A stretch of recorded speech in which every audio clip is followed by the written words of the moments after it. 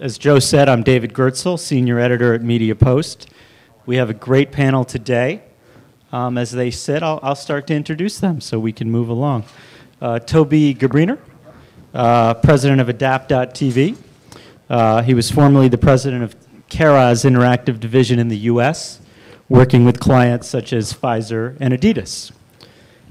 To my immediate left, Eric Franchi, co-founder of the digital media company Undertone, which uh, I guess you've been running spots recently on The Pitch, which is the AMC show, sort of a reality competition among ad agencies, right?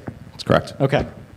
Uh, I, you know, it comes after Mad Men, so it's uh, supposed to uh, sort of dovetail with that, I suppose, right? Yep. Okay, I got that. I, one interesting uh, thing about his company, uh, back in March, they launched, they kind of went car dealer, right, and did sort of a money back guarantee. So uh, if you uh, the, if, if, an advertiser didn't get the required brand lift, uh, you got your money back up to fifty thousand dollars. So uh, Flash Gordon, uh, better known as Adam Gordon, uh, third from my left, senior vice president of sales for the Guardian in the U.S. it's the venerable newspaper that's becoming a multi-platform brand. Already is, I suppose. Um, so why is he on a video panel?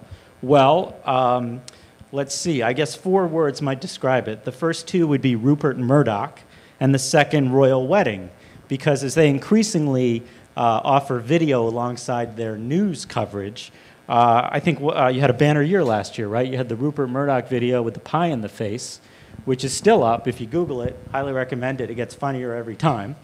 And uh, the royal wedding probably helped. We broke the entire story. Broke the that entire was just, story. That was just one teeny thing. Oh, you okay. Know, the whole phone hacking story is Guardian investigated. Sure. So researched it for years. You know, fought really since. hard to break that editorial. And so. it's still moving forward. Uh, so I'm sure it's driving lots of traffic. As of a half hour ago, yeah. Oh, I missed that. Uh, and and uh, a subsite, if it, if I will, if I may, is Media Guardian, which uh, is is great, and I, I recommend that. Yes. Okay. And then Donald Williams, uh, Chief Digital Officer at Horizon Media working with clients such as the caveman. I guess it's just Geico, really, right? Okay. The caveman doesn't show up at the office, right? And uh, the History Channel. I can't wait for the Hatfields and McCoys. So uh, that's a series coming up. So uh, look forward to that. So um, I'll throw this out there. Uh, I'm not sure I see the downside of an RTB marketplace for online video, TV, or anything else. Uh, on the web, there's so much inventory that a seller can benefit from an opportunity to sell it efficiently while a buyer gets some transparency and less paperwork. I suppose with overnight TV, there's a lot of remnant inventory as well. So help me out. Where are the downsides, if any? Do you want to start?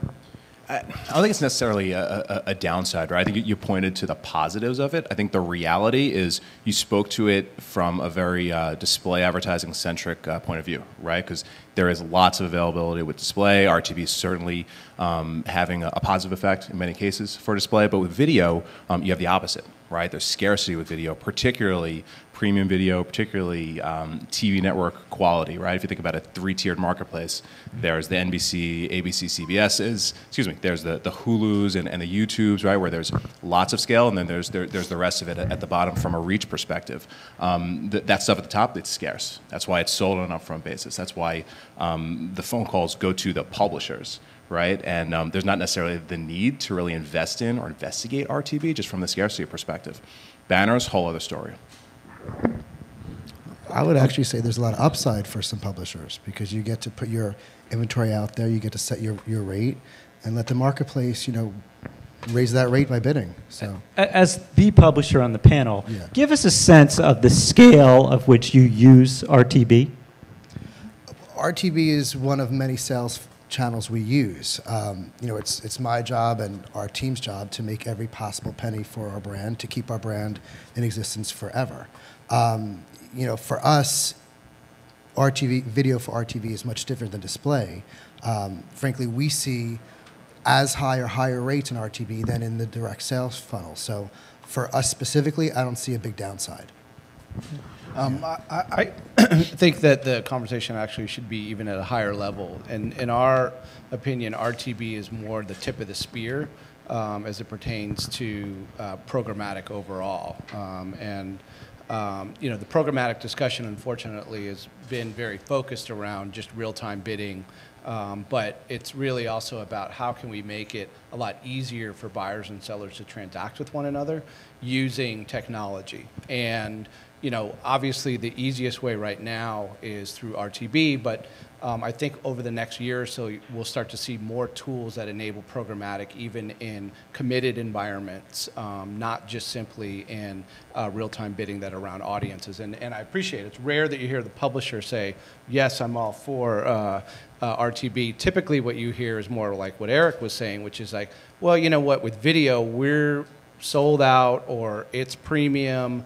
Um, RTB tends to have the connotation of being, you know, remnant um, and uh, the dregs, so to speak, and for those who are trying to do like hardcore audience targeting and things of that nature.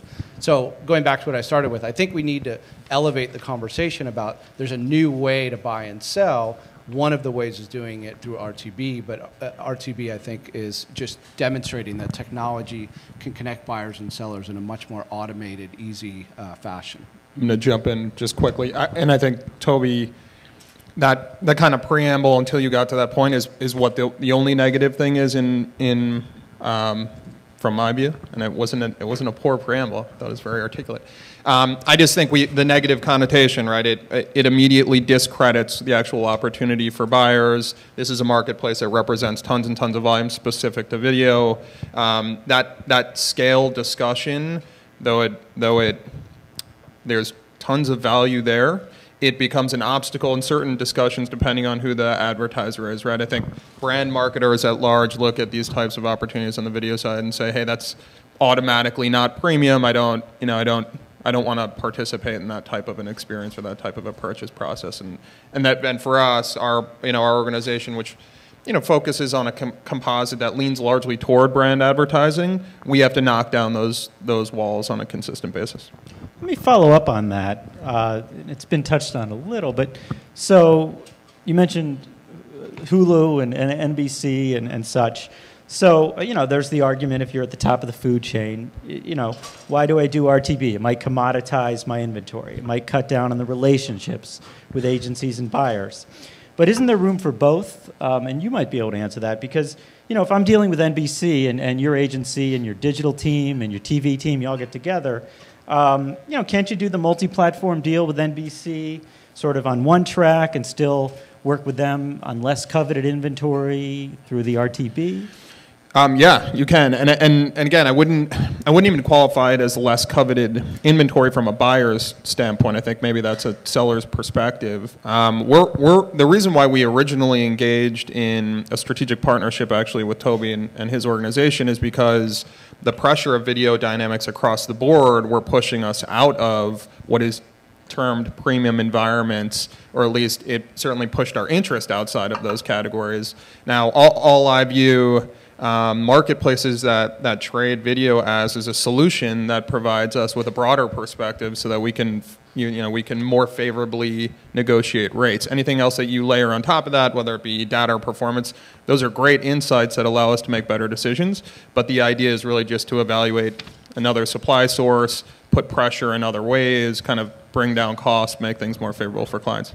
Jump in? One, one, yeah. one other thing um, to say on that around Hulu and, and other premium brands is that, um, and I think I heard in some of the earlier uh, conversations about this uh, notion of a private exchanges or private marketplaces, which um, as a, you know, uh, what Adap.tv does is actually provide a uh, platform that connects buyers and sellers. And on the seller side, one of the big areas that we've seen um, a lot of interest from uh, the premium sellers is around this notion of private marketplaces, which allow them to sell their inventory in a programmatic way, still have the relationships with, uh, in fact, you know, some of them will, uh, uh, you know, develop and do all of the relationship uh, outside of the marketplace, um, have some sort of overarching deal with an, uh, an agency like Horizon that covers off on a lot of their brands. And in some respects, actually can be advantageous because it can uh, enable the seller to be able to touch a lot more campaigns than they may not uh, have in the past when they were trying to sell into every single account on every single campaign. It can be a larger deal. Um, so I think we'll start to see more of the premium brands going down the path of, of having these kind of private marketplaces where, again, the inventory is, is bought and sold in a more automated way, but they still have a relationship uh, directly with uh, the buyer. Eric, how does that affect where you sit in the ecosystem? It's fine. It's fine. Yeah, I mean, it, a private marketplace is, is an efficient way to buy media. We support it. We would potentially use it as a tool to, to buy or sell. Um, again, from my perspective, and, and I think Undertone's perspective, because we work with you know the most premium of the premium from a, from a publisher perspective, it's so early on for video. It, it, it's it, it's potentially too early to even be having that conversation as it relates to video. Again, for, for that subset at the at, at the very top, I think there's like a ton of opportunity as you go down the pyramid, and I think it's like automating and providing scale and efficiencies everywhere across the board. But again, when, when you're thinking about premium, and I, and I think with video, that's for better for worse. What the association is on the client side, um, it's it's a very early conversation because the scale, the, the, the, the true scale just isn't there.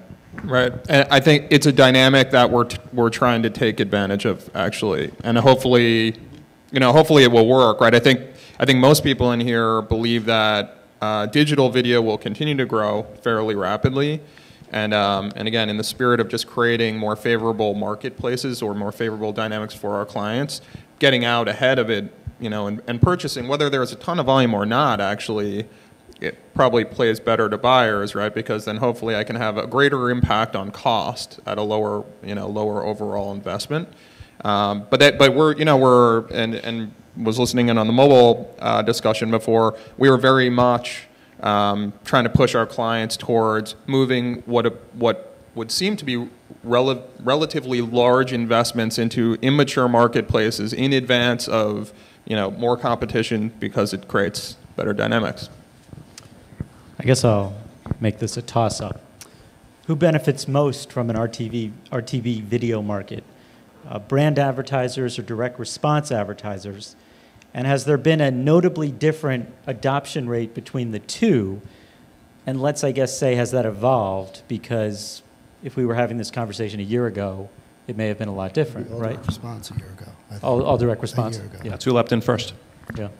But I, I don't think it's about a category direct response or branding benefiting. I think it's about you know what clients are taking advantage of an early adopter position. It's it's really no different you know than upfront versus scatter, right? It's a client that gets in early, lays their money in, is about buying an audience. They're going to get probably a more efficient rate. Um, and then that's the indirect relationship between the brand, the publisher, and the client.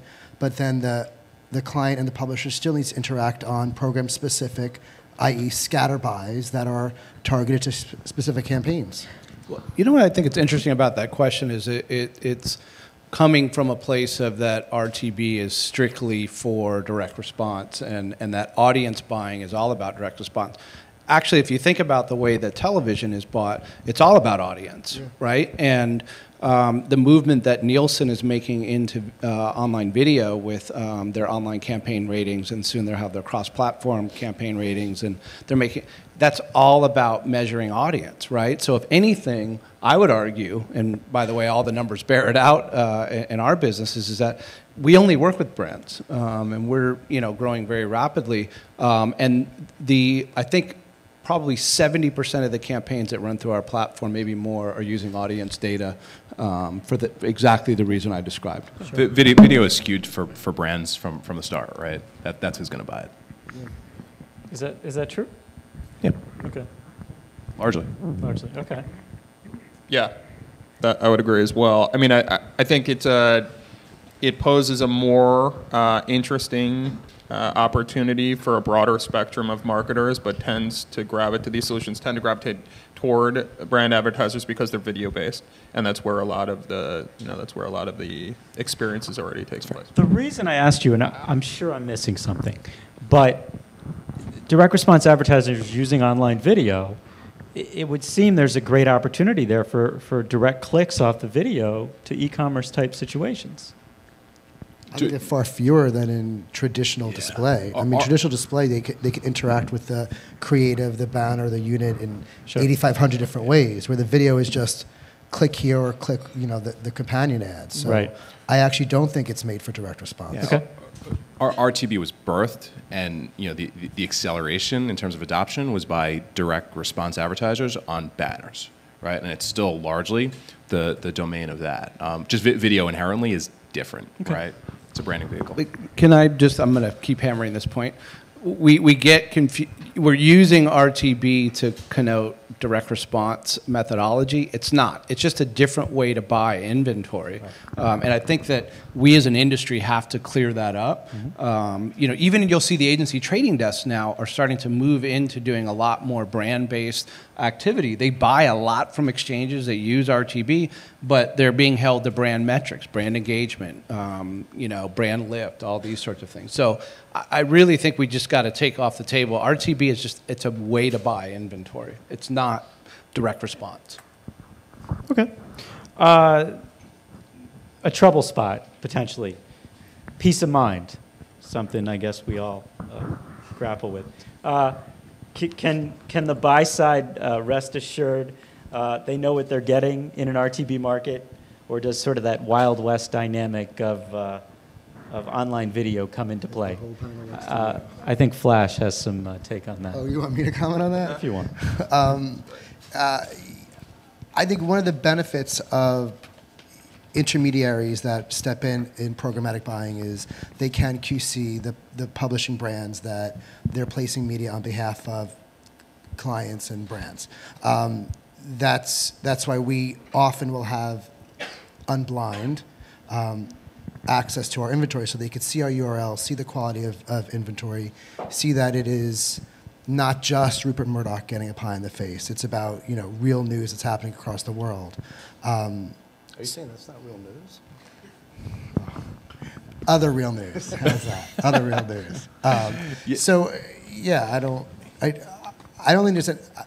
I think there are always going to be shady characters in you know any marketplace, and I think that there are ups and downs in it. I don't think that it's any more or less prone to pitfalls and valleys. Yeah, and that's that. That's what we need. We, we, we need the transparency um, for RTB video to, to grow, if, if it is to grow, because um, there were some. I I mean, the marketplace shot itself in the foot yet again um, when, uh, when when this stuff really started growing with um, with the, the lack of transparency and buyers thinking they were getting premium quality click to play video and getting something that was much different. Right. Getting something that maybe was never viewed.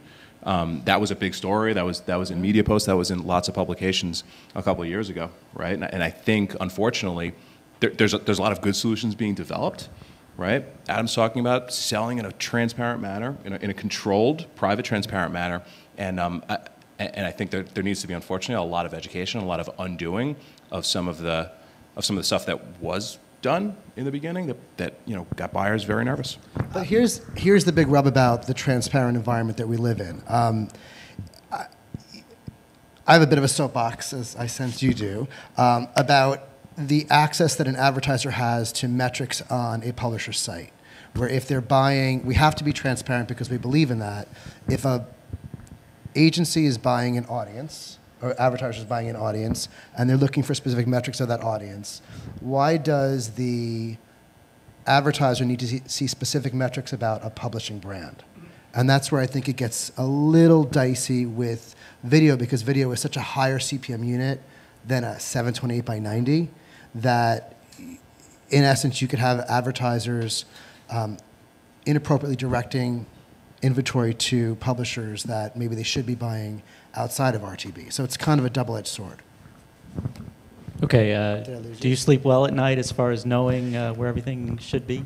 I, the, you know the the um, the sales channel conflict that I think created some of the lack of transparency yesterday has been resolved really effectively. We don't deal with tools that don't provide at least domain level information, right? And then typically sub-channel information as well. And even if publishers feel like um, those who are who are potentially trying to take advantage of things like RTB and get you know liquidate at some short order, they have the option to actually take away transparency or, ta- or limit information, and a buyer has equal amounts of control to kind of gravitate toward that or not. I, I, I personally don't view what we're doing as being um, uh, as being somehow uh, mystical and or non-transparent. Um, I think if anything, uh, it would be great to be able to knock down some of the educational hurdles, like you said. I, I, clients don't, you know, I don't think every single client is, is as familiar with what it means to be 100% transparency. Oftentimes, people think, hey, that's that's placement level information. I should be able to go to page two, or I should be able to go to college basketball wherever and see my ad right now, and and the, the, those conversations still exist. But but in terms of just transparency and buying, we're, we're kind of already there. Tob, any thoughts? I, I would just simply say this is not an RTB issue. This is, in fact, RTB in theory, if it's implemented correctly, provides way more transparency than you get in a lot of places where you get aggregated inventory. Um, and I think Donnie hit the nail on the head, which is, is that as an an industry, I mean, we just have to do a good job of, of policing all these things. Same way display went down a rat hole, and there was all kinds of nefarious activity that's going on. I'm sure all of you guys saw the latest ComScore report that 31% of uh, impressions are unseen by a human being. Um, that, you know, think about ridiculous. that. Yeah, think about it. You're paying a 30% premium uh, on impressions. Anybody it's who's lower than what we see across the campaigns where we track viewability. Right. Yeah. So that where I was going with this is like I think the next huge wave of activity that's going to go on, and we're certainly uh, we're slightly orthogonal to RTB discussion, but is this notion of viewability. Yeah. Got to happen. Okay. Not a very contentious panel at this point. We're all heading in the same direction. We'll try to stir it up. Um, so, uh, explain to us, Donnie, uh, your involvement at your place as sort of an agency trading desk. And then I guess I'll toss it up. Is there the potential for agency trading desks at, I guess, even bigger agencies, agency slash holding companies to have sort of too much power in this marketplace? Um, I'll, I'll start with uh, you know our perspective, our Yeah. our general perspective. Um, you know, and and uh, and this conversation's kind of unfolded over the course of the day, so I I, uh, I don't I don't mean to be redundant, but someone was alluding to the costs that are necessary in order to invest in certain solutions, including technologies that would enable a, a trading desk. Um, you know, Horizon's a different type of an organization than most of these companies. We're, we're independently owned. Um, you know, our president CEO is, is, the, is the owner of our organization. We've grown really rapidly, and we've done so by making certain financial investments and also pulling back and withdrawing in certain ways. Uh, our client right now, or I'm sorry, our company right now couldn't sustain its own trading desk. Um, I, you know, and, and that may be evolving very rapidly, but, but as it stands, it never became a primary focus for us. Now, there's other aspects of that model that have, have been surfaced as, as potentially uh, damaging, not only to the organizations, but their clients as well, and, it, and it's kind of unfolded, and, and a lot of it's driven by transparency and incremental fees and, and whatever. Um, but we really had a focus on developing technology relationships that would get us to where we thought the market was going versus realize, you know, added fruit or added margin on top of a market. In many ways, in my mind, that's that's kind of dissipating, and that would be the display marketplace, you know, for for a number of different reasons as well. So we so we kind of said, hey, you know, we need to have an integration that allows us access to Facebook, and we need to have an integration that gives us access to premium video. And those are the two areas that we focused on, and they're and they're not technologies that we derive. There's better people out there, including Adap.tv, that that we can tap into. So that's kind of the direction we've headed in. That's a nice compliment. Yes, Donnie's. A, uh, they've been a, a wonderful partner of ours for a while. Um, the so this is an interesting question. I, I actually come out of the agency world, um, and a big reason why I left was because of the uh, lack of momentum around using technologies like um, uh, DSPs and things of that nature. I actually left uh, the agency to go run X Plus One, ironically, which is one of the uh, uh, leading DSPs. Um, the I, in my opinion, the the launch of the trading desk within uh, the holding companies has been one of the better um, developments uh, within agencies in a while. I, I think that they're all struggling to figure out how it's going to play out ultimately, um, and there's certainly some you know potential conflicts of interest and, and things of that nature. But the notion that that agencies are now have a division that's focused around leveraging technology um, and figuring out how to to be more efficient in how they operate. I, I promise you, the, the cost of managing campaigns, uh, acquiring inventory, doing all of that within a trading desk is significantly lower than uh, the, the general accounts that happen in agencies. Now, the charter for the trading desk has been much more DR focused, going back all the way to, you know, again, RTB is uh, uh, uh, all about DR. But I, I think that what's going to be interesting is, is that over the next couple years, you'll start to see the ad ops group um, who have more and more pressure to start figuring out how to leverage interesting technologies on their campaigns, and the trading desk groups starting to have uh, come to loggerheads about sort of who has the power around technology within agencies. And I saw you raising your microphone too, so go ahead. Just going to jump in. This is a this is actually fascinating. You guys having a great time? It's a fascinating topic right here. Um, it, the I, I couldn't agree more with the the um, comment around operational costs. I think that the idea that our organizations collectively have to get more effective in determining where to spend dollars is is brilliant. I do take a step back at this point in time and wonder out aloud whether or not there are some soft costs associated with uh, current agency trading that we don't like to talk about quite as much, and, and just some that come to mind are retention of talent, right? I think there's a number of people that I meet with on a daily basis who go, yeah, you know, what we were doing over there might have been a little bit odd. Operationally, you know, we, you know, we had a, we kind of had a, a firm directive, right? It's something like that.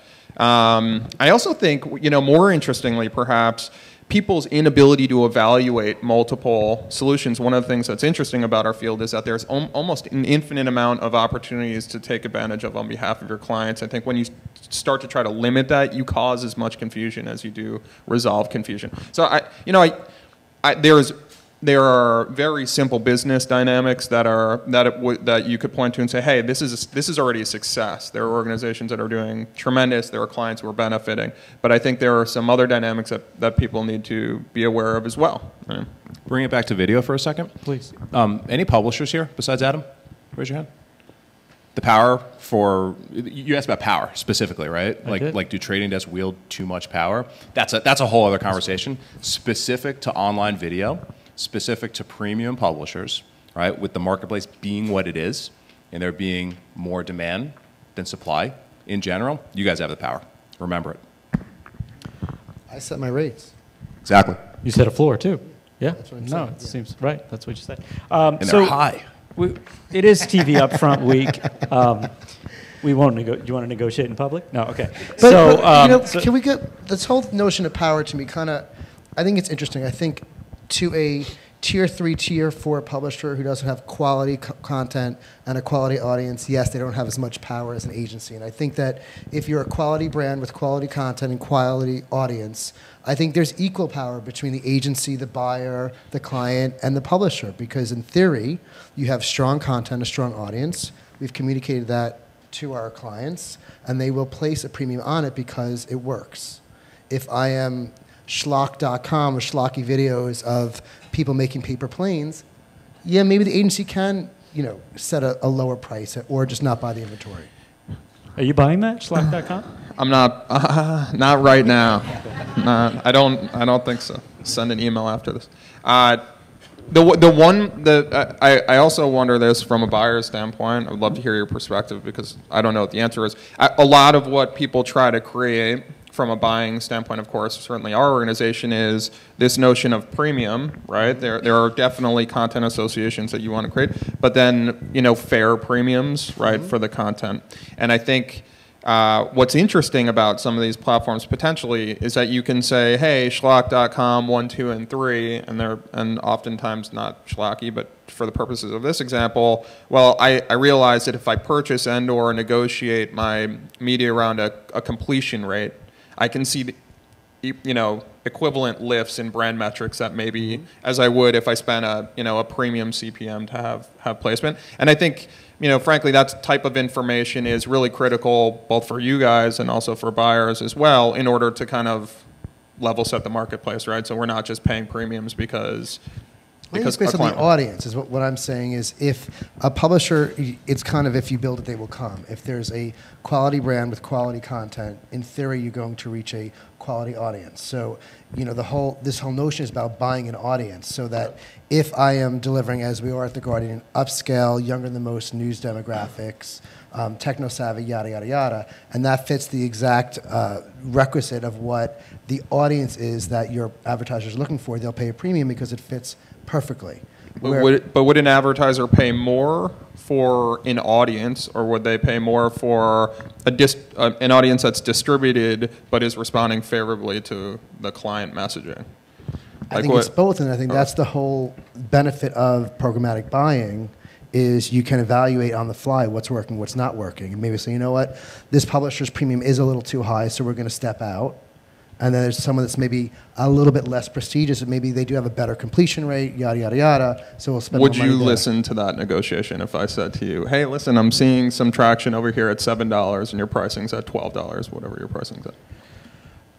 That's different than programmatic buying. That's I think more a direct relationship where I'd say, okay, how much more money are you going to give me, and then I'll lower my prices for you, right? Fair enough. Right.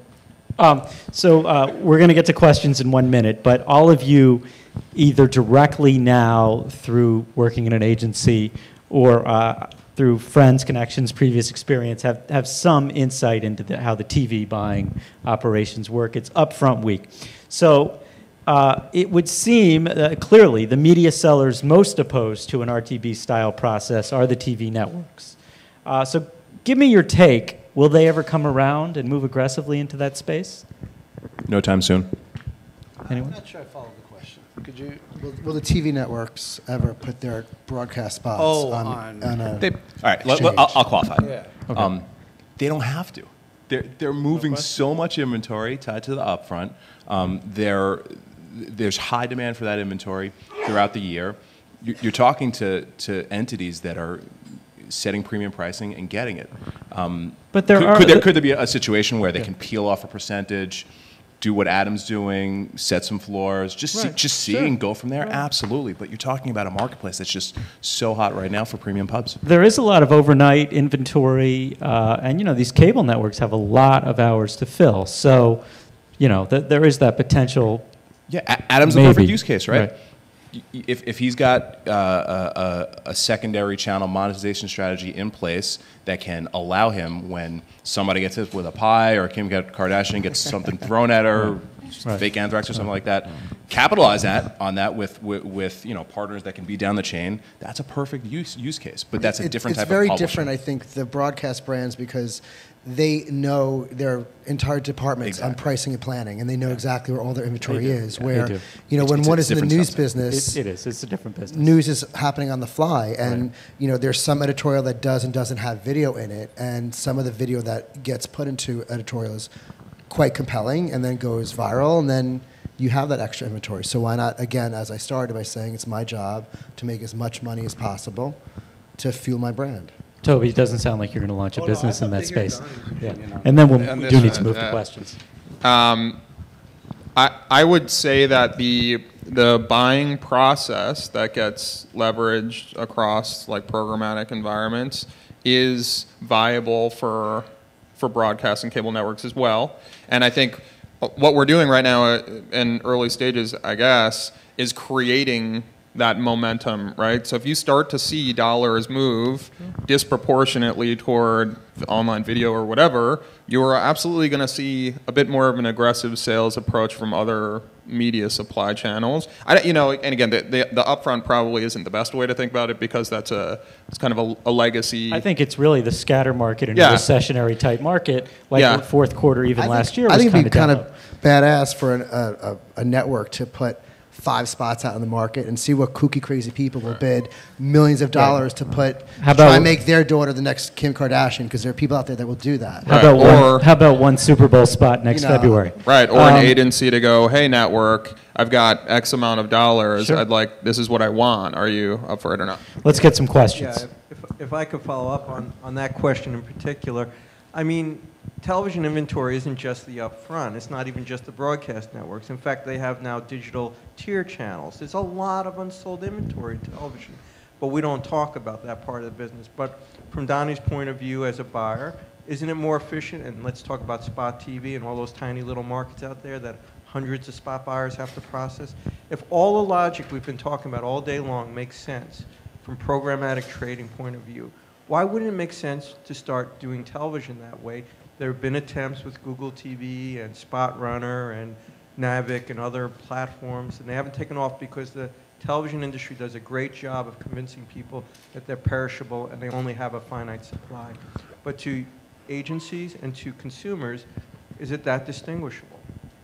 But there, there's another thing at play here when it comes to television, and, and we haven't talked about this at all. Like just the dynamics in video.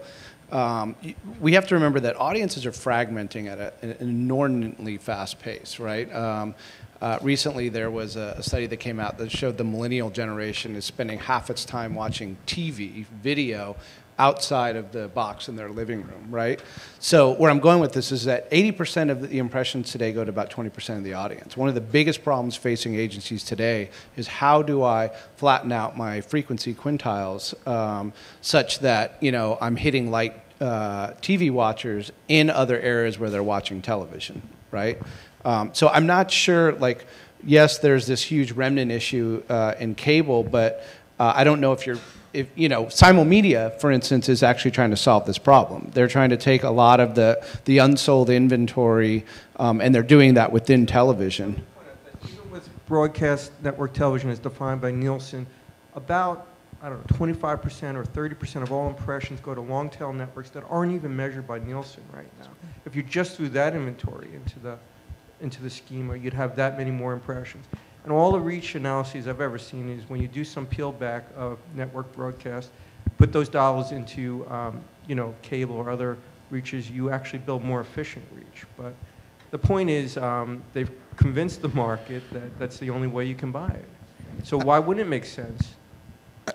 I think what you, you guys are probably, or certainly Toby, you guys, and you guys both, are, you're talking about dynamics that aren't being considered as it relates to the prevention of this type of thing happening. I don't believe. I think all it would take is one successful entry into the market in a in whatever manner necessary from an, a reverse auction perspective, and then uh, you know a buyer to see, hey, look, I'm buying at 40% of what I've purchased in Scatter Marketplace in the past, and I think you'd you'd have success. Wait, Right. You know, I think there's you know, I, I, and and of course, perhaps it wouldn't be the best use of dollars given some of the audience fragmentation, but it certainly would be a proof case where people would reconsider the, the viability of the product. And it, and frankly, there are a lot of organizations that are working on this already, uh, ours included. I mean, this is the, the the more you can create these types of dynamics, again, the, the better off your advertisers will be at the end of the. Yeah, I actually, uh, that's a really important point, and I uh, jumped into another area. I mean, your point is valid insofar as is that um, the way in which that a lot of scatter is bought today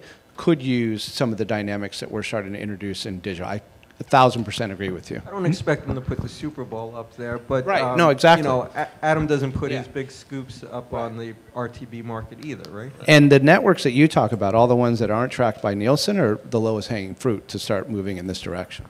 Yeah, I think overnight spots and ovation. No offense. Um, let's get a question from the audience. Hey guys, so uh, speaking specifically about connected TV and not necessarily online video, uh, as smart TVs become more abundant in the US market, uh, the manufacturer becomes a bigger player in advertising. Uh, so I'm just curious to hear your thoughts on how uh, LG, Sony, Samsung, and huge and Panasonic and big players like that who are actually providing the connectivity um, kind of have to work now with the networks and uh, any early thoughts on what that looks like. Uh, Well, I, I, I, here, here's an interesting stat. We just did a survey recently uh, amongst about 300 uh, digital buyers, not even TV buyers, digital buyers, and uh, 28% of them said that they're already starting to buy in connected TV environments, and another like 20% said that they are looking to start doing that, which I was really surprised at. Um, so it tells you that that's definitely a growing area. I, you know, the the it, I think I, I don't have a, a, a crystal ball on this, but it's going to be fascinating to see how it plays out. With you have the cable companies that are trying to uh, make sure that they don't lose uh, control over the ad dollars. You have the networks that are freaking out about the TV everywhere and what that means. Um, now you've got the manufacturers who used to just be the dumb box coming in and saying, "Hey, we want a piece of the pie," right? Um, so, I, you know, it'll be. Ve- and recently, I think it was Samsung announced that they actually have a, an ad network for connected TV. Um, so clearly, you know, everybody wants a piece of that 200, 300 million dollar global uh, television. And Billion. There's what's that? Billion, right? Uh, sorry, billion. Yeah, yeah. Um, so I, I think you're going to start to see a lot more of uh, because of the, the smart device thing. The device makers starting to get into this. It'll be interesting to see the reaction of the content and cable guys and how they react to all this. It's be chi- I think it's a stretch to think that the, these that the, the TV makers become media companies, though. Right. Right. I I, I, I do can't not see, see it at all. Yeah. They don't have the infrastructure or the culture to do it. Yeah. But but think about how razor thin their margins are on those Right. boxes. I'm- I mean, I'm they could so start sure giving the the boxes away uh, if they can get more advertising yeah, they, they want to. The question is, yeah. I mean, I think, can I think they? the mobile Wow. is a good example of that, where there are, are manufacturers um, who try to, to be a media company and they're struggling, right? Yeah, I, I think that's. I'm not saying they're going to be successful. I'm just saying if when your margins are this big and and Why not try? Why not not try? Yeah, Right. I, I yeah, I would agree with all that stuff. Plus, we haven't seen. Uh, I mean, there are connected devices in existence prior to the hardware manufacturers, and we haven't seen a boon of of sales just yet. And I think, um, and certainly the opportunity is a bit smaller, but uh, it's it's interesting a lot. Uh, and I think I believe I know you, or at least I've met you, and you're a media buyer, right? Okay, so you've probably talked to. You've probably talked to folks who have sold connected device inventory in the past, and a lot of what they say is, "Hey, I'm not exactly sure what we have here, but I'd love to get you, love to get you some of it." And I think sometimes, right now, in the digital space at least, that type of a sales approach isn't isn't quite as, quite as effective as others. We uh, are done. It's been a great panel. Thanks, guys. I suspect you'll each stick around for a few minutes if there are more questions we didn't get a chance to uh, field. Is there one more? Okay. Hi, thanks, David. Good panel. Uh, Kelly Wenzel with Undertone. Hi, Eric. Um, my question is actually not for you, it's for Donnie. Um, Horizon, you, you've been leading the way with the viewable impression, which you guys touched on earlier. You had some nice press this week. And I'm curious, do you see this extending to online video? I know the technology is mostly for display now, but could you talk a little bit about what you think that will mean for, uh, for online video? Uh, yeah, absolutely. Um, so if anyone didn't see uh, the the, or, and I'm sure a number of you didn't, uh, if anyone didn't see the the uh, article that she's referencing, it was a it's a deal that we're working on with ESPN right now around purchasing only viewable inventory in the display space, and we're leveraging RealVu's technology. We've worked with them for a long time. Um, you know, in our in our world right now, we view in-stream video uh, as viewable. It's a it's a bit of a crude solution, but um, but it's be, it's a technology kind of uh, workaround for us in the short term. Uh, a lot of the success that we're seeing in the video buying uh, side actually drove us toward viewability as a as a solution or a solve for display media. Um, certainly, there are some issues with that. You know, in player, of course, is is what I'm talking about, and certainly things like audio initiation aren't aren't going to fly.